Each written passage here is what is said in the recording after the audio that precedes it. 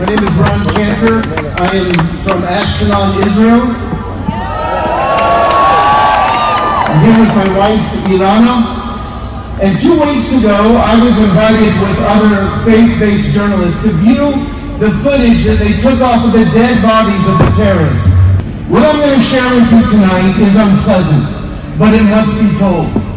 Already people have forgotten what happened on October the 7th, and they have forgotten the 242 hostages that are in the tunnels of Gaza. A young woman at a pro-Palestinian rally just a few weeks after the massacre. Somebody asked her, what do you think of the Hamas invasion of Israel? And she did not know what they were talking about. Hamas invaded Israel on the 7th of October. What was your initial reaction to that? Mm, I didn't believe they did today, Hamas. Uh, I think so. I, honestly, like I think I need to be a bit more clued up on like everything that's going on. So I feel like I'm not really qualified to answer that too well. I mean, I'm not sure if I've seen anything that shows that that's actually happened or actually correct. In the Hamas footage, I saw a father. Him and his two sons, 6.30 in the morning, they ran in their underwear outside into a safe room. The Hamas terrorists came in, they threw a grenade into the Migunit, the safe room. It exploded and the father walked out dazed. The terrorists shot him dead. Then they dragged the two sons over his dead body into the kitchen. Then the terrorists went to the refrigerator, even as the two young boys were in shock. One says to the other, refrigerator and he asks them, it seems like in Arabic, what's there to eat? And he takes out a Coke and begins to drink it. The mother comes home a little bit later with police and they found her husband dead and she collapses in agony. I don't know what happened to the boys. I watched as a dog came to protect his family, and the terrorists shot him, but the dog kept coming, and they kept shooting until he was dead. I witnessed as terrorists searched houses for anyone who might be alive, and then they shot them dead. Many motorists, they had no idea what was happening,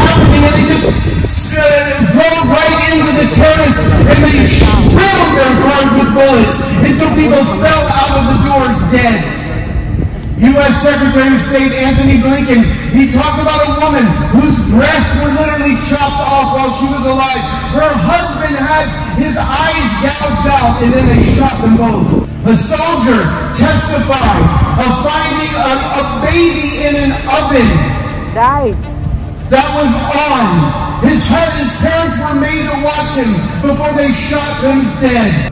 They took the baby in front of his parents um, and they opened the, the oven. They put the baby, two months baby, inside the oven, turn on the heat, uh, high heat, and just it starts screaming and burning.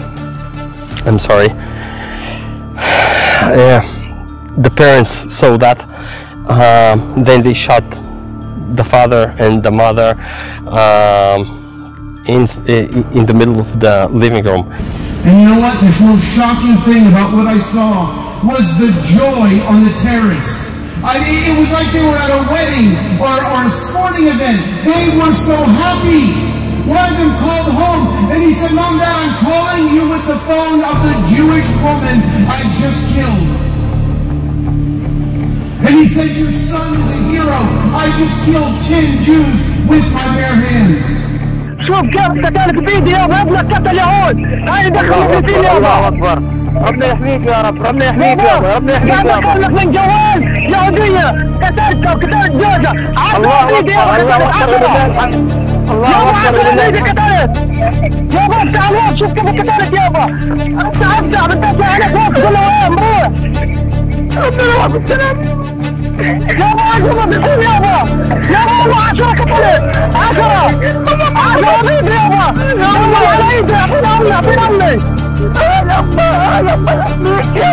These savages have found friends. They found friends on college campuses in the U.S. and sadly on the streets of Europe. At George Washington University, they projected on a building the words that call for another Jewish genocide. Glory to our modern street Palestine from the river to the sea. At Columbia University, Professor Joseph Massad called the slaughter awesome. Cornell University professor Russell Rickford said he was exhilarated by October the 7th, and he called Israelis irredeemable excrement. In Sydney, Australia, crowds gathered at the Opera House and chanted, Gas the Jews. A Harvard task force was formed to protect pro-Hamas students. And a letter was written by more than 100 professors rebuking the president for condemning anti-Semitism. People rejoiced at the news of the slaughter in the streets of Berlin, Toronto, Paris, and sadly right here in London. But where will church stand? When the Messiah returns to Jerusalem, the Bible says that he's going to separate the nations as a shepherd separates the sheep and the goats. He will ask them, how did you treat my physical brothers, the Jewish people? Yes, the sheep and the goats prophecy is about the nations and their treatment of the Jewish people. Zechariah 14, 16 talks about the nations coming to Jerusalem after the coming of the Lord and worshiping Him there.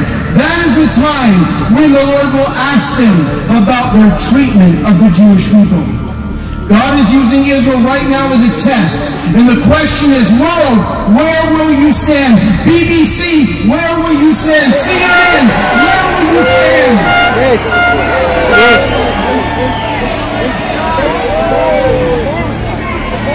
I have to say that I have been amazed at the response of the believers all over the world while they have stood with the Jewish people. We're not going to give up until Hamas is destroyed and every hostage is returned. We speak to Hamas